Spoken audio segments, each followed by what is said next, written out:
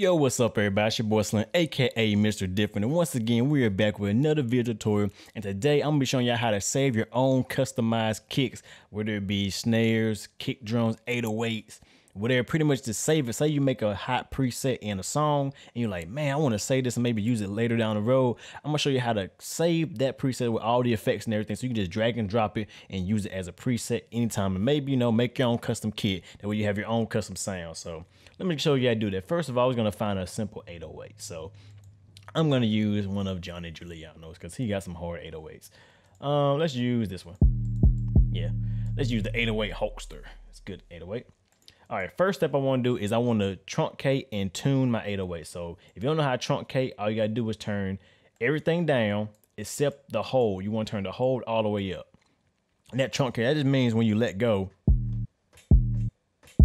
it let it cuts off as soon as you let go. But if you don't want to do it that way, a, a shortcut to that is right click on the sample name right here and just click cut itself. And it does the same exact thing as if you truncate it. So if you want to know that, here you go. Next, I want to tune my 808. And if you watch my previous video, I show you how to tune it, but I'll go over it. You want to just click the sample right here, right click it, go to edit. It brings up Edison. Hit this little marker tool and go down to detect pitch region.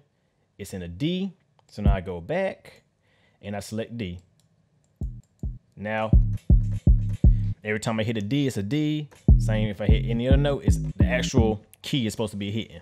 And it don't matter what range you're picking. I just usually use it in the C5 range. Keep it simple. All right, next I want to send to a mixer channel. So to do the FL, you either just select what channel you want it in, or in FL12, it has this track button right here. If you click that, it automatically puts it in the, the first, the next open track. So that's a good way to do that. Now let's get editing. For this video, I'm not gonna show you what I'm doing. I'm just gonna be going through a quick edit to change the sound and make it sound different from the original sound. So, but this is where you play pretty much play around when you make your own presets. So I'm just gonna do a quick little preset change.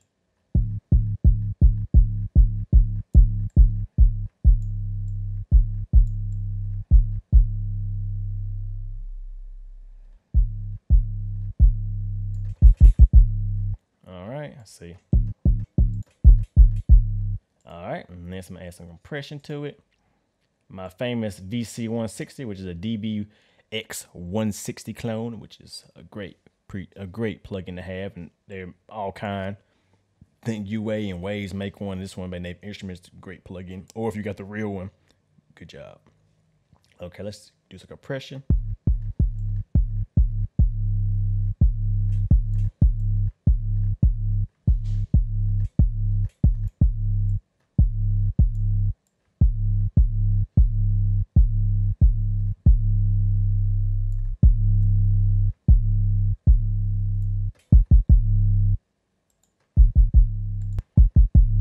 Oh yeah, got a little lasery sound to it.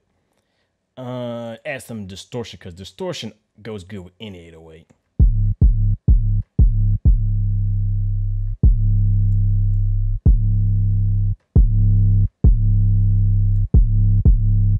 Okay.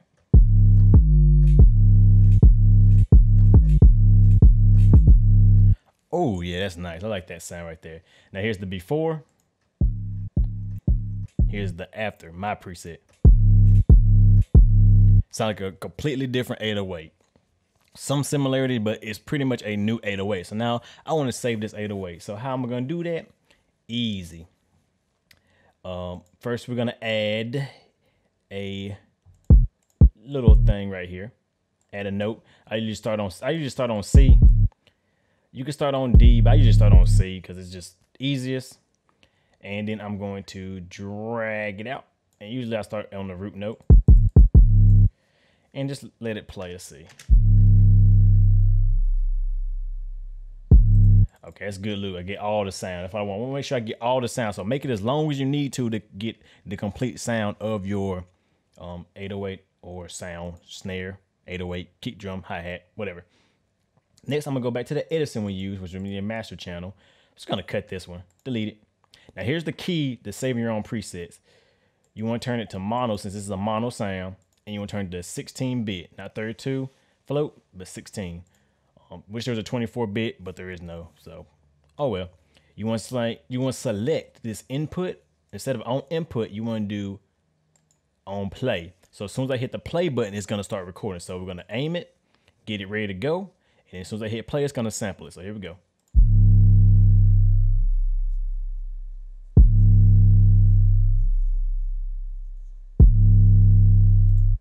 All right, I let it loop about three times just to make sure I get it. And I always use the second one because if you look, the first one, it cuts off a little bit at the beginning for some strange reason, but the second one actually gets that all that loop. So we're gonna drag it back out, and then we're just gonna double click. Double click on this marker, and it's gonna highlight inside this marker, and we're just gonna trim it. Go down to the scissor tool and trim. Boom. Now I have my custom 808 sample.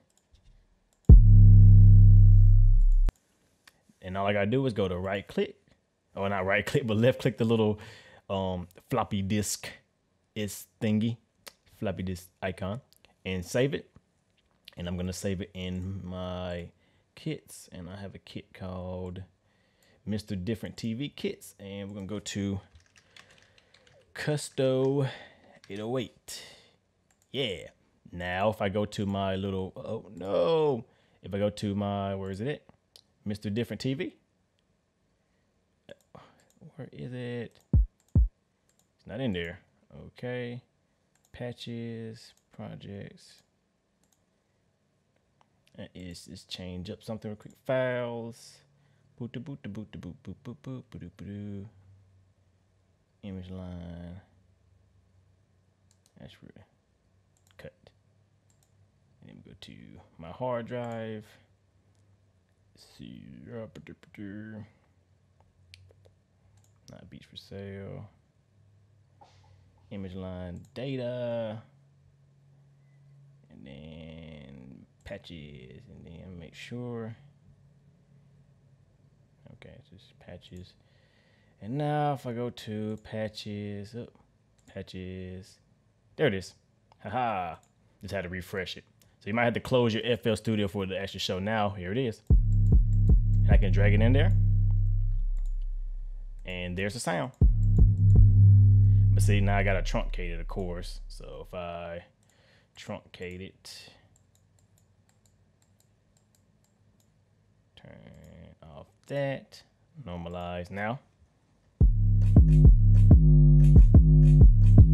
Custom K808 kick sound. So that's the quick way, or pretty much the best way to save custom sounds that way, just so you can build your own customized kits, and you can also have your own unique sound and save them. And you don't have to keep remembering or, you know, using up your um computer processing power by adding them the same effects over and over and over every time. You just drag and drop, boom, you're ready to go. It's ready to hit, and you can change that up some more too and make that to a new custom sound. So, hope this, hopefully, this video helped y'all, you know, and you know, get y'all the think be creative and start making your own sound and making your own unique sound and being original because like i say i tell people it costs too much and takes too much time to be like somebody else. It's a whole lot easier to just be yourself and make your own sound and, you know, be creative. Don't try to copy other people. Try to be you and do what you do. So with that being said, I hope this video helped. Y'all know who it is. Slim, aka Mr. Different, Mr. Not Motivated by the Money, but the like, comment, subscribe, and views. Keep them coming, and I'll keep on making videos. So with that being said, I shall see y'all in the next video. So y'all have a nice day, and see y'all next time.